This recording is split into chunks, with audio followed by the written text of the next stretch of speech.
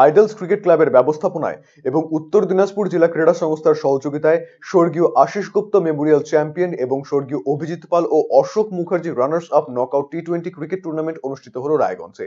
রায়গঞ্জ স্টেডিয়ামে অনুষ্ঠিত হয় এই ক্রীড়া অনুষ্ঠান, যেখানে আটটি দল অংশ নিয়েছে।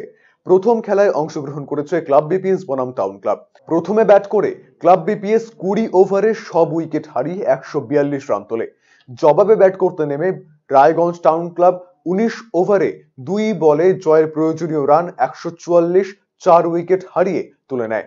ছয় উইকেটে টাউন ক্লাব জয় লাভ করে। ম্যান অফ দ্য ম্যাচ হন বিবেক দাস, তেরো রানের বিনিময়ে চার উইকেট এবং তেইশ রান করে।